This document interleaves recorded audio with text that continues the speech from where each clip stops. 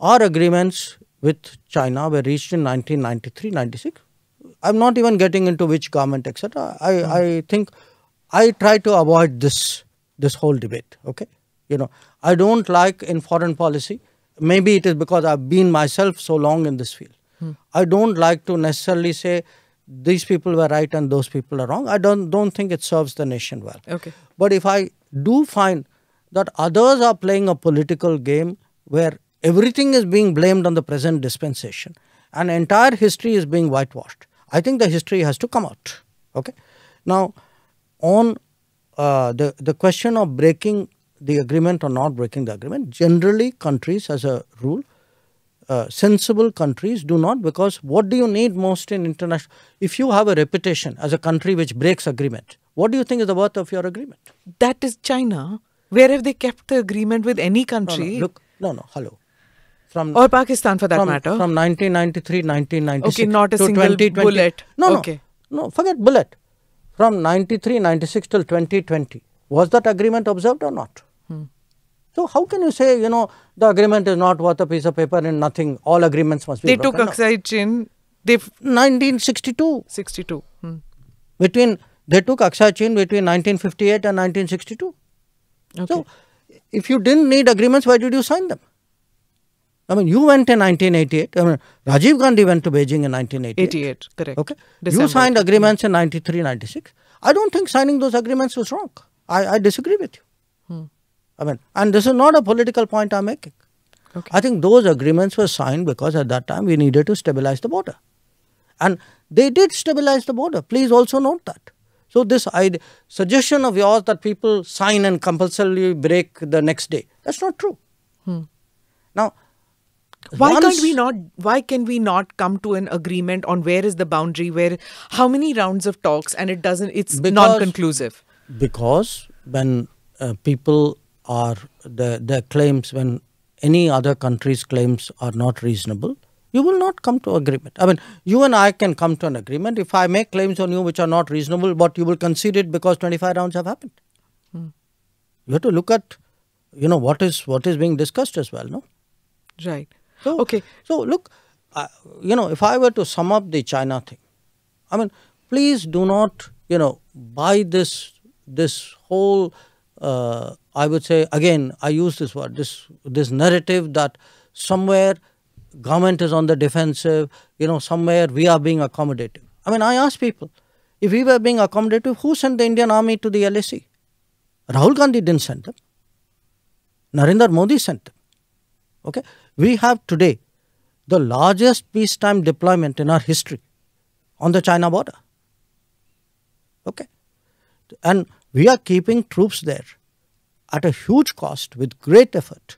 We have increased our infrastructure spending on the border five times in this comment.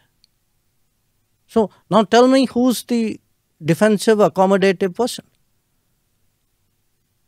In fact, the question you should ask is who's actually uh, telling the truth, who's depicting things accurately, who's playing uh, footsie with history. I think those are the questions which should be asked. Okay, let me go to uh, Pakistan. And there's a number of people who are now e- expressing serious concern that here is a nuclear nation which is on the verge of an economic collapse. If that happens, it's in our neighborhood. Are we ready? Influx of uh, people who might come in into our country. How do we deal with this uh, situation where this country could collapse? No, I, I think, uh, you know, uh, Pakistan's uh, future uh, is largely determined by Pakistan's actions and by Pakistan's choices. I mean, nobody reaches a difficult situation sort of suddenly and without cause. So it is for them to find a way out. Uh, our relationship today uh, is not one, you know, where uh, we can be relevant directly to that process. Uh, if I were to, for example, compare it to Sri Lanka, I would say it's a very different relationship. With Sri Lanka, still there is a lot of goodwill in this country. Uh, there's there's naturally a neighbor's uh, concerns and worry, but there's also a feeling. Look, uh, you know, we have to help them to get through this. Uh, tomorrow, if something happens to some other neighbor, that would be the case as well. But you know, uh, the you know what the sentiment in this country is about Pakistan. Yeah. You know, you were talking about these concentric circles when you said the neighborhood, and then there's the second. Uh, one of the most dramatic achievements of your foreign policy has been uh, India's newfound status and reach out uh, to the to the UAE, to the Islamic world, to the Kingdom of Saudi Arabia. Uh, that's been quite an achievement. Mm-hmm. When was that decision taken to reach out? Because otherwise, it all that one heard was that OIC has something to say on Kashmir. That was the maximum that one heard, even though there was this large Indian uh, people of Indian origin living in the Middle East. I would say uh, I started hearing it first soon after I became Foreign Secretary, so it would have been early 2015. It is possible that the Prime Minister may have had some thoughts and discussed it with other people before I came back to Delhi. I can't, I can't uh, vouch for it. Uh, I'm glad you brought that up because uh, if you were to ask me in 10 years, give me two, three examples of some big changes which have happened uh, in our in our policy, uh, I would certainly put our change relationship with the Gulf mm. very, very high uh, up there on the list. Uh, why didn't it happen earlier? Uh, my own sense, if we want a very, very honest answer, is I don't think people were strategic earlier. Mm. I think, they, you know, when you have a vote bank mentality, uh, you actually, you, you're not serious about foreign policy and uh, I would say operationalizing it for you it's like a slogan that they are with us or you know uh, so we kind of treated it as that's a place that you know the, the, we get our petrol uh, energy from there. There's a big community out there. And the rest of it was like a like a uh, like a distant you know uh, a goodwill uh, which you needed for your political vote bank calculations.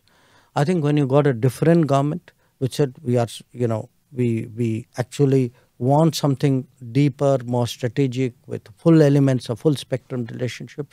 We have the ability today to deliver on a lot of issues of your concern as well.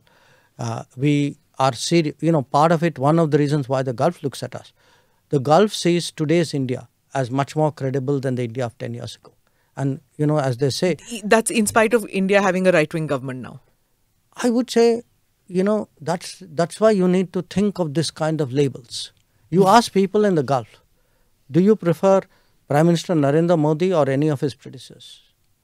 I'm willing to take a bet with you. Every one of the gulf countries would say i prefer the uh, prime minister modi. Why? I think they think he's a more serious person uh, he's a person who makes who's more credible uh, who's who's actually broad based that relationship Hmm. He's done more for the relationship than everybody else. And you know, I, I must once, I, I tell you very honestly, uh, I, I was once at a conference in the Gulf and I had some friends hmm. from across the parliamentary aisle with me. Hmm. And uh, this issue came up. And the person from the Gulf actually, and this was like maybe 2018 19, he said, you know, these guys, he's looking at me, he said, they've done more in four years than you guys did in 40. That's the kind of image there is in that part of the world. Is Kashmir on the table now? It used to be, I know. Is yes. Kashmir on the table when you deal with uh, countries in West Asia now? No, I, I, what do you mean on the table? Do they speak about it? Do they ask no, you about it? No, no why would, I mean, look, Kashmir is part of India. I mean, that, that's it. That's that, it was always a part of India, but after the abrogation, there was a Pakistan had upped the ante does that matter at all to these countries? No, it doesn't now? come up in any of my conversations. It doesn't come no. up.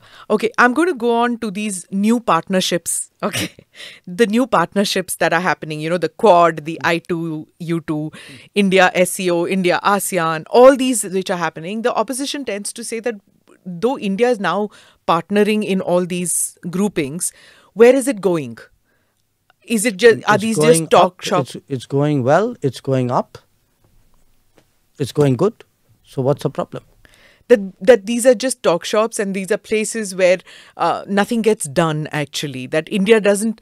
Uh, this whole thing about you know Vishwa Guru and things where India is just posturing. No, no, listen, the opposition has to say things. No, they are opposition. Hmm. Why would why would that be the basis for any serious question on your part?